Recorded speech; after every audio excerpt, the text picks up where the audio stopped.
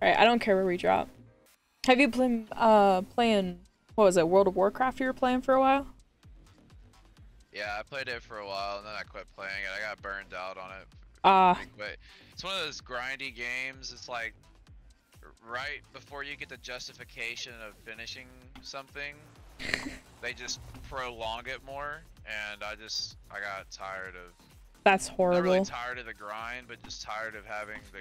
Yeah, that's one of those games, kind of like Apex in a sense, where you have to like log in every day and then put in like at least like five to six hours of your time. And I didn't want to do that anymore. I was gonna say, nah, don't have time for that at all.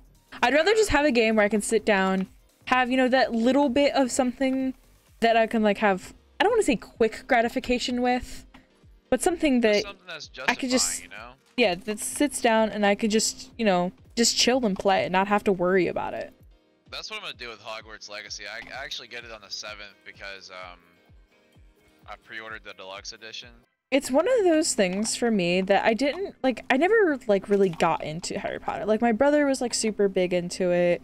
He like read all the books and stuff. I've watched like few of the movies, but it's like it's not one of those things that like ever like grabbed my attention, I guess. That's the thing with Harry Potter though is it either grabs your attention or you're just not interested. People say all the time it's a really good movie. It's just not my kind of movie, which is fair. I mean, yeah. it's not every kind. It's not everybody's favorite movie, you know. I was going to say that's totally respectable. Like I mean, I'm sure maybe at some point like I'd go back and like watch the movies, but it's not something that I don't know. It's like I really like the like the fantasy and stuff of it. It's just there's something about those movies that I've just I don't know. Maybe it's because I I tried watching them because I've noticed lately, but stuff that I've watched when I was younger, I hated. For example, Star Wars. I hated it when I was younger, and then I go back and I start watching it again. I'm just like, wow, this stuff actually kind of slaps. Throw your ultimate like right here. Ooh, I can steal stuff. Shield. You can you can steal one thing out of the vault. If it has a lock on it, you can only steal one thing on it. Okay, so I better grab other stuff before. Yeah, so grab whatever else other than the stuff that's locked, and then grab the shield that's locked, so you'll, you know, get your loot. Is it better to have the the im- the like the gold like body armor, or is it better to have like the body shield or like the Evo shield? The gold body shield heals up faster. Uh, purple heals up uh, slower, obviously, because you have to use a shield cell one by one or a bat. The the beneficial thing with a gold body shield is you stay in the fight longer. Honestly, like Fortnite was like my super grindy game that I would play, and then like I would always jump on Apex just to have like fun and just like play around with stuff. it looks like the next couple of uh, seasons, uh, Apex is turning over a new chapter. It's not called seasons anymore. It's they're starting a whole new So like Mm, it's they're, they're doing chapter chapter two, season one now. So okay. that being said, I think Apex is gonna start going in a direction that they should have been going in a long time ago, catering to more of the casual pl- fair player base player base because if you don't cater to the casual player base enough, you're not gonna have as much sales are a lot Yeah. of pub stompers and stuff like that that don't play anymore because it's just not fun playing pubs. One of those type of people like i don't like necessarily want to get like super good at apex. I'm one of those type of people who enjoy playing apex and then i enjoy watching algs in this game. and then fortnite you know i i started off that way at fortnite.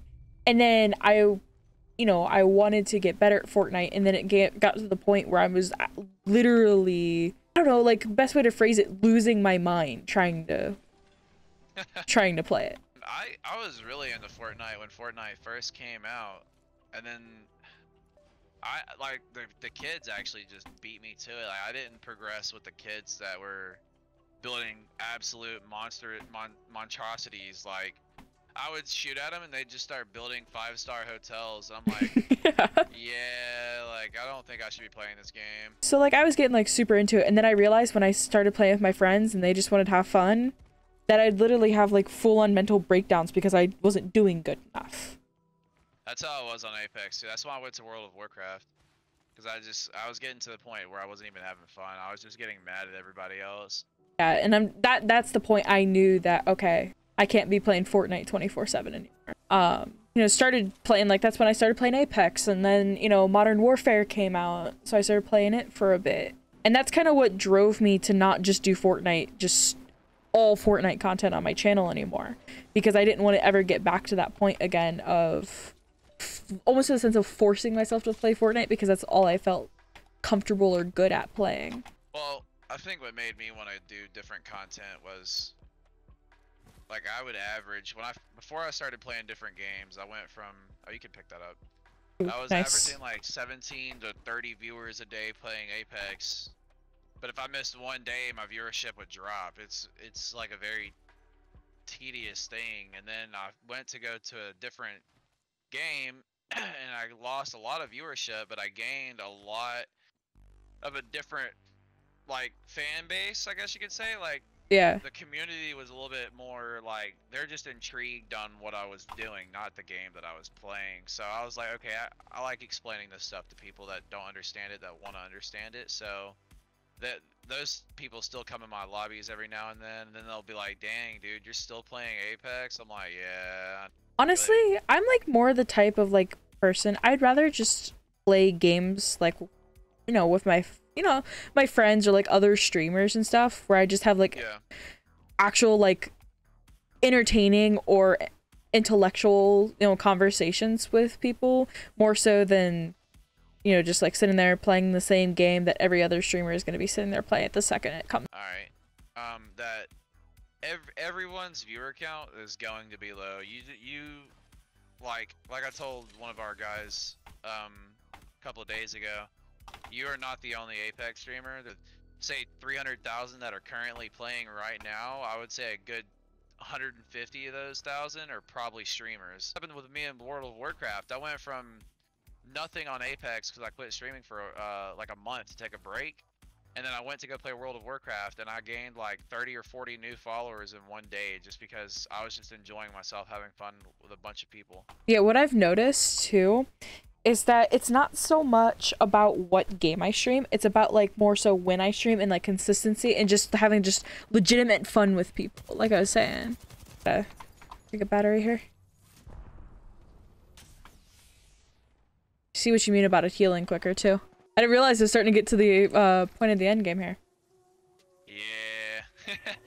Uh, but duos lobbies, they die so. Like, or just pub matches in general, they're dying so fast that we didn't even come across anybody. And we went through a lot of the hot uh, drops. Land on this building over here. Yeah. Alright, so there's a team right here to our left and one to our right.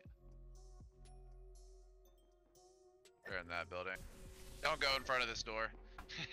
Okay. Don't go in front of that. Yeah, They yeah, Machine gun out. Oh jeez, I'm getting beamed from the team that was behind us. They got on our roof. Over here. Oh, yeah. Nice. Kind of missed where your zippy was. Heal up, I got you. Oh, but they're on the top of the roof. Sounds like they're like the f other teams are fighting. Oh, I got absolutely shredded. Okay, I did not see them sitting there. Me and you. They were like, okay, like I kind of was creeping on top of that like roof because I thought they all moved back and they're fighting towards the right side, like middle right. And I didn't realize one guy was creeping on me.